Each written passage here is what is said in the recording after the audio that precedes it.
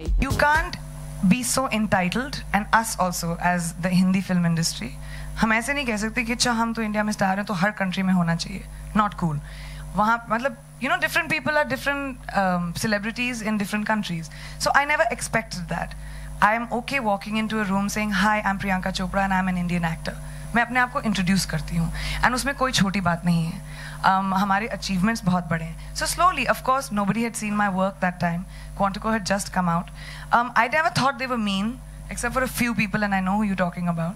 But I don't think anyone was mean. I think the American press has been wonderfully accepting of me. In fact, I haven't seen them being like this to a lot of Indian actors. I mean, if you think about it, they're wonderful with me. They are so friendly, so loving, so encouraging um, for someone like me. So I don't know, I can't say about brown skin, and I can't generalize, but I definitely think that's my endeavor.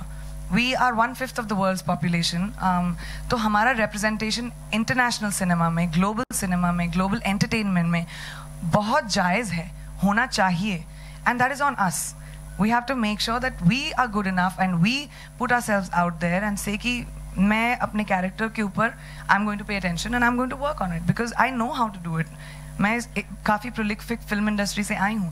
So I don't feel small when I walk in and I think yeah it takes a while to introduce whenever somebody comes here new जब मेरी पहली film में आई थी, तब आप लोग भी तो नहीं जानते थे मुझे।